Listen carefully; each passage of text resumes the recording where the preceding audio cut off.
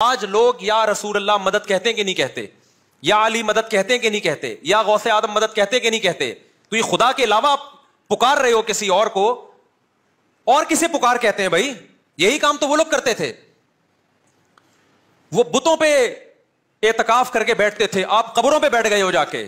وہ وہ بتوں کا طواف کرتے تھے، آپ قبروں کا طواف کر رہے ہو، وہ بتوں کو سردا کرتے تھے، آپ ان کی قبروں پہ سردا سجدہ بت کو کیا جائے یا بزرگ کی بزرگ کی مورتی کو کیا جائے یا بزرگ کی قبر کو کیا جائے، دونوں سجدوں میں کوئی فرق نہیں ہے۔ اگر اس کی ایکسپلینیشن اللہ کے پاس اللہ کو مطمئن کرنے کے لیے ہے، تو آپ پیش کر دینا۔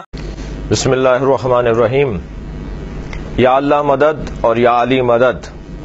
یہ مسلمانوں میں ایک ایسا موضوع بنا دیا گیا کہ جو خاص علمی اور عقیدتی موضوع ہے۔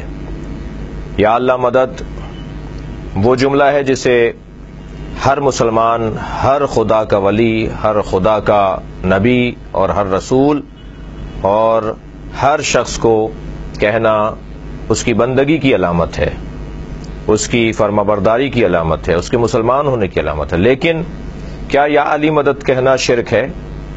اگر یا علی مدد کہنا شرک ہے، تو قرآن مجید میں بہت ساری آیات ہیں جس میں انبیاء کرام نے دوسروں سے مدد مانگی ہے جو بہرحال اللہ نہیں ہے۔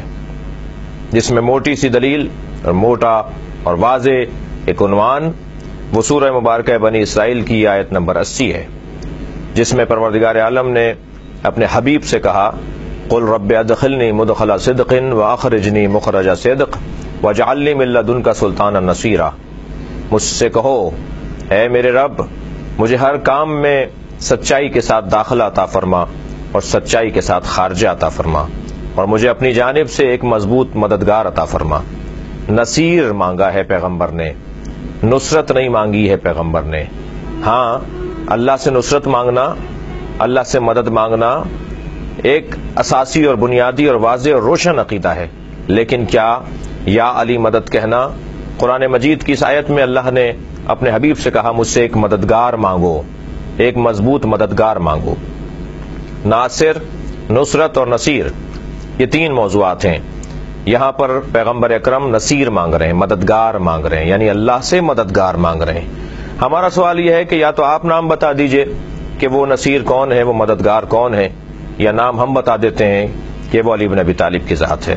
جنہوں نے پیغمبر اکرم کو اعلان نبوت کے موقع سے لے کر اور آپ کی رحلت تک آپ کی مدد کا، آپ کی نصرت کا، آپ کے ساتھ دینے کا بھرپور مظاہرہ کیا۔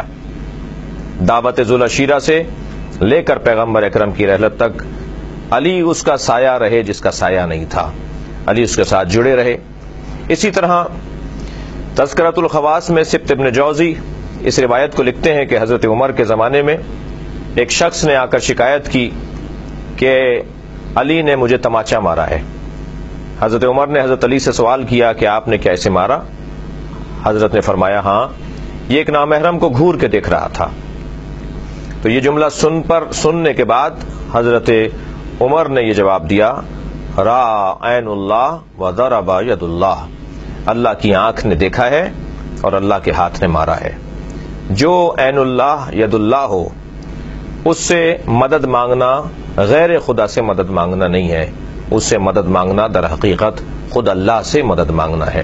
مثلا اگر میں آپ سے کہوں کہ آپ فلاں میری مشکل کو آسان کریں اور میرے لیے یہ مسئلہ حل کر دیں اور آپ جواب یہ دیں کہ اللہ سے مانگیے، اللہ سے مدد مانگیے اور میں یہ کہوں کہ میں اللہ ہی سے مدد مانگ رہا ہوں اس لیے کہ اللہ نے آپ کو دیا ہے۔ ہم آپ کے پاس اس لیے آئے ہیں کہ اللہ نے آپ کو یہ صلاحیت عطا کی ہے۔ تو یہ اللہ ہی سے مدد مانگنا ہے۔ یا علی مدد در حقیقت ایک ولی خدا سے مدد ہے۔ ایک ید اللہ، عین اللہ، لسان اللہ جم اللہ عزن اللہ اور وجہ اللہ سے مدد ہے، جو خود اللہ ہی سے مدد ہے۔ وما علینا الا البلاغ۔